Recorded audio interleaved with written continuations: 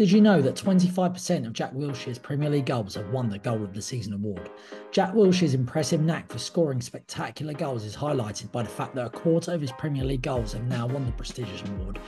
Wilshere won the award in a consecutive seasons in 2013-14 season and 2014-15 season. Just thinking about that goal against Norwich is enough to get any football fan excited.